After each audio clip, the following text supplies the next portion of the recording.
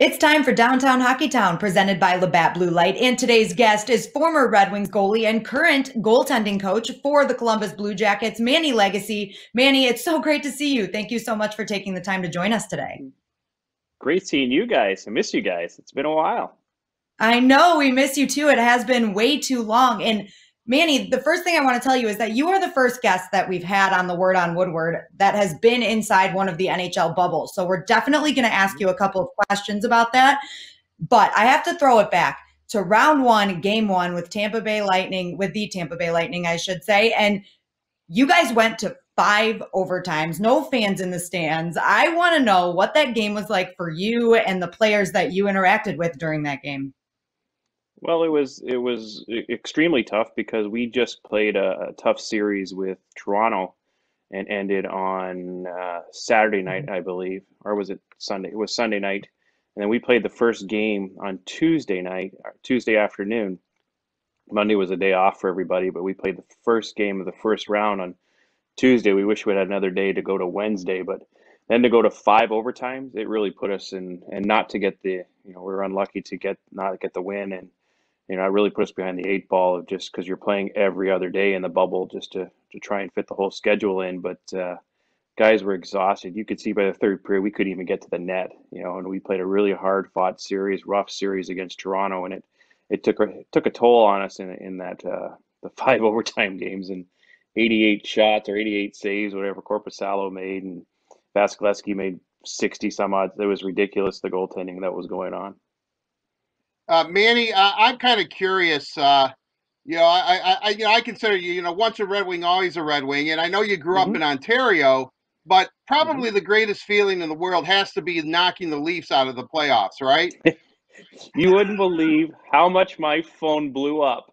It, it, you know, we playing this game a long time, won a few series, and nothing like that. It was insane how many texts and calls and even like I grew up downtown Toronto, so all my buddies live in Toronto, and they're blowing up my phone because they're all Montreal fans, and you know I didn't hear from any of the Leaf fans. Like, and half my dad's come from a big family, eleven brothers and sisters, and half from Montreal and half from Toronto, and the half of Montreal were just blowing up my phone. It was insane. And then I go in the coach's room because I was in the other room next to them, and went into the coach's room, and their phones are just it's it was ridiculous. The phones are just going off, and I'm like, wow, people hate Toronto really hate Toronto. I can tell you, you definitely made Art Regner very happy. He was very. a lot of people, a lot of people, really happy. yes, we were all very happy about that, Manny. so, talk a little bit about that, the bubble situation. The NHL has done a great job with the bubble. Everyone has talked really highly of it. From being inside the bubble, Manny, what was it like for you? Did you feel safe there? What was the overall experience like? It was amazing of what the NHL did uh, in, in such a short time too. They they you know the cities weren't picked.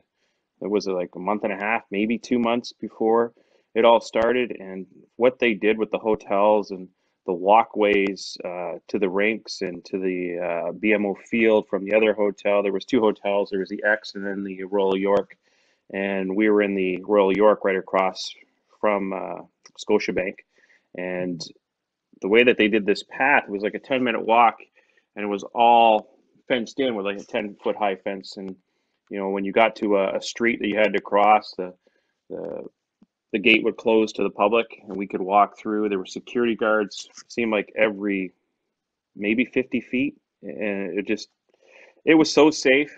It was amazing what they did. The whole hotel was shut down. They had all the restaurants open. They did accommodations for everything for the players, and uh, you know each team had its own floor. Um, uh, did it get a little monotonous being there every day and you only going in your room and can't leave the hotel? Yeah, but that was the whole message going in was what team can mentally get by that, and there's going to be some challenges, and there's going to be a lot of bumps and bruises and hills, hills and valleys through this whole playoff run, and the team that does it best and, and copes with it the best is, is going to have the better chance. Manny, uh, you know, you talked about the five overtime game. I think the story of Columbus was their goaltending. in in in, in the playoffs and maybe throughout the year, especially with the Bob uh, uh, going down to Florida as a free agent. Mm-hmm. Uh, Joonas uh, Korpisalo set a record for most saves in a playoff game, mm-hmm. and then and then Elvis, of course. How can you not like a guy named Elvis? Uh, uh, Merzlikins. Uh, can you talk about your role, especially maybe during that five over a five period overtime game? what do you do as a coach, or do you just make sure they're hydrated? Because the pressure's got to keep mounting every overtime, especially for the goalie. I didn't uh, leave my seat for six and a half hours during that overtime. So uh, during the game, I leave them alone. I, I, when I was playing, if a goalie coach came down to talk to me in between periods, I'd lose my mind. So, you know, it was uh, just stay in your game. And what's going to say to Korpi is stand on his head, and you know he's stood in his head in the the um, Toronto series, and you know it's he stood in his head to get us through five over for four overtimes before they finally scored. And, you know, you, you just want to stay away from those guys. It's like a pitcher. You know, in baseball, you don't want to talk to them, don't want to put anything more in their head except stopping the little black puck. So, you know, I was I just stayed away from them. Uh, but both goalies, you know, going into the season was was was a big question mark. It, uh, you know, losing Bob to Florida, you know, was a huge hole. You're losing a two-time Vezina Trophy winner, and you know, we, we made he made some pretty good uh, ground in playoffs because he he had a really good playoffs against Tampa and Boston uh, the year before, and left us a big hole. You know, and losing Panarin left us a big hole, and, and losing Duchene was left us a big hole, and you know stuff you, those things you can't fill right away, and it's going to take some time through drafts and.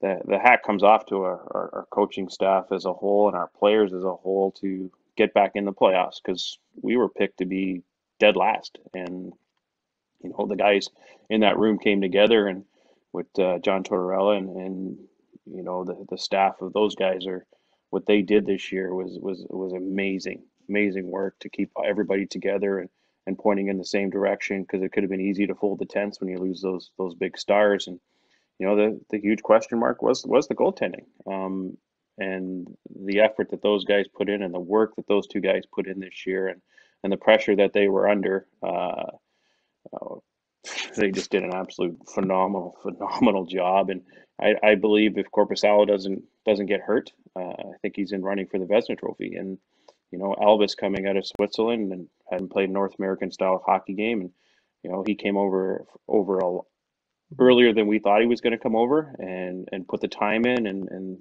uh, just to learn the situations and the the different attacks and you know different pushes and post play and, and everything around the NHL that has to be accounted for. And and uh, they both put the work in and it, and it paid off for both of them. And you know they both got some uh, good contracts out of it. So at the end of the day that's the the best part for me Manny, one last question for you before we let you go. Um, not only the Columbus Blue Jackets, but around the entire league, every team that did make the 24 team return to play plan, the level of hockey has been so good. And I think that was in question before the NHL came back. As a coach, were you surprised that the level of hockey was this high? Or was this something that you were kind of like, oh, no, it's going to be fine? These guys are going to be fine? No, uh, because the, the, atmosphere in the rink, it, it it's weird. It's kind of like a summer men's league type atmosphere, and there's no emotion. And you know, when guys score a goal, that you just hear the bench, you know, which you never hear in a hockey game. You, you just hear the bench and the guys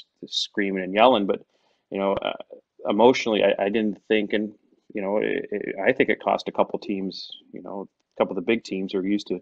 We've got a lot of veteran players and are used to playing in front of crowds and that gets them going and, and you see it in other sports too where you know like the teams that had the veteran guys like pittsburgh and, and wash had a tougher time getting motivated to play. And, and you know the teams that found the way and had some young guys that had a lot of fire or some old guys that uh, want to win a stanley cup and maybe this might be their best chance you know they were more motivated than than a team that already won stanley cups and have guys that are you know been in the league a long long time. And you know that was the question mark going in to see how how we would react. And then the high especially after the first round or but technically the the play-in rounds uh, it really amped up. And first round was kind of back to normal not not exactly back to normal. I've been watching every game since and every round now is picking back up picking back up. Closer they get they can smell the, the stanley cup. So uh, but the first playing rounds, it was it was weird. It was deafening. Like there was no huge fuck missed the net and hit the glass, and you're like, wow, this sounds like a summer hockey game. And it was really tough for those guys. And then they talked about it. You know, it's just when you're so used to the fans pushing you and giving you that extra level, and there's some nights where you just get there and you play five overtimes, and two nights later you're playing, you have no energy. And usually the crowd break, picks you up, and there was nothing there to pick you up. You had to find your own motivation. So you'll see it. You saw teams early lose that motivation from game to game just because there was no pickup to get them going again like it normally does in NHL hockey. Manny, I have to ask you quickly. I mean, because they're gonna, I know they're gonna kill me about this, but Dallas is playing for the Stanley Cup. I know you, mm-hmm. you know, you got. I know you're a Blue Jacket through and through, or maybe a Red Wing at heart. But I, I, I have to ask, you've got to be happy for Jimmy Nill and Jim, and Jim Bedard. I'm so happy for him. I'm so happy for him. It, you know, Jimmy's the reason I'm sitting here. So, you know, he's been my mentor since a junior. He was my goalie coach in junior hockey, and you know, I love that man to death. And I don't think you could ask for a better person in Jim Nill. You know, being around him for my whole career here in in, in Detroit, and you know, I live in Detroit, where I'm sitting here right now in Detroit. So, you know, uh, getting to just be around Jim and Nill, it makes you a better person. And you know, Jimmy Bedard is like I said, I love the man to death. So, uh, but I'm so happy for him, and I hope they can finish it off. And hopefully, uh, looking like Tampa right now, uh, they're going to face, and it's going to be a tough task. And you know, hopefully they can. Uh, Khudobin can can keep playing as well as he is, and they can bring home the Stanley Cup back to Dallas because you saw the the fans are even at their rink for those viewing parties, and they're excited. So Dallas's defense looks tough, and if it does end up being Tampa, their offense looks tough. So that would be yeah. quite the final. It's going to be a great matchup. It'll be a great matchup. It will be. It will be a great matchup. But don't count out the Islanders quite yet. You know, no, I'm not. I, you down in a hurry. Yeah. there, I'm not counting anyone out until it's final. Well, thank you so much for taking the time to join us. We really appreciate it. Good luck in the off season and preparing for the NHL's next season. And of course, a big thank you to Labatt Blue Light for presenting Downtown Hockeytown. Labatt Blue Light, refreshing Canadian Pilsner. Visit your local retailer when safe to pick up some Labatt Blue Light.